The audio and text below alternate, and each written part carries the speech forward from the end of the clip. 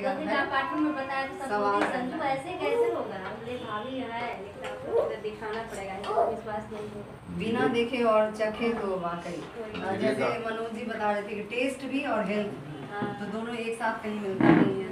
लेकिन यहाँ पे है कि लेकिन मैं आपको- सारा बीमारी तेले मसाला का अभी का बिना घी दिए बिना घी देखिएगा कि तो जीरा तेल मसाला बिना खाए तो रहेंगे ही नहीं।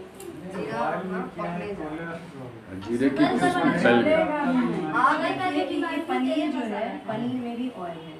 और जो भी प्याज में भी ऑयल होता है हर चीज़ में ऑयल होता है। वेजिटेबल ऑयल मिलता है ना आजकल? हाँ हाँ, राइस ऑयल वेजिटेबल हाँ। ऑयल मिलने लगा है। हाँ। उसी तरह हर वेजिटेबल में अपना ऑयल है। आप वही इस बर्तन की खासियत है कि उस ऑयल को ये निकालता है। उसी ऑयल में ये खाना पकाता है।